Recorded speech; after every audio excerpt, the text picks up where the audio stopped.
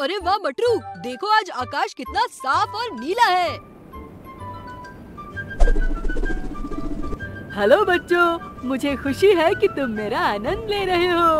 अरे आप कौन हैं? मैं पवन हूँ हवा का एक झोंका।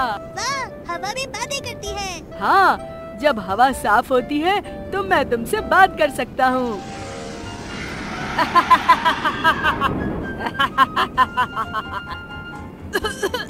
कौन है? ये धुआँ है वही प्रदूषण फैलाता है जिससे सांस लेना मुश्किल हो जाता है।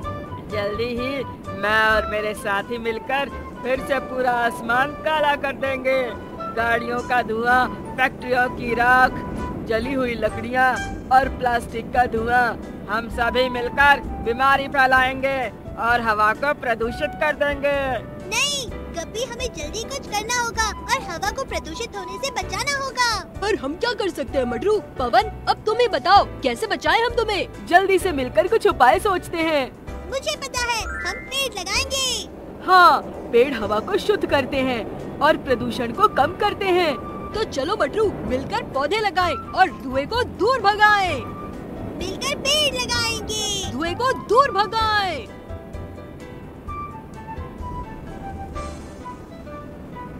अरे नहीं इतने सारे पेड़ तो हवा साफ़ कर देंगे। ये हम जीत गए। हाँ और मैं भी अब पहले जैसा नीला और साफ़ हो गया हूँ। धन्यवाद दोस्तों।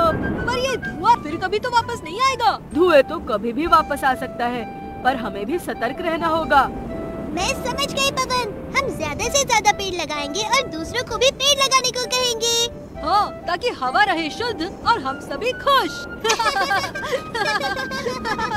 दोस्तों अब आपको पता है ना आपको क्या करना है हवा को साफ़ रखने के लिए? आप भी हमारी ही तरह पेड़ लगाएँ और गंदे धुएँ को अपने पास न आने दें। बाय बाय दोस्तों अगले वीडियो में आपसे फिर मिलेंगे।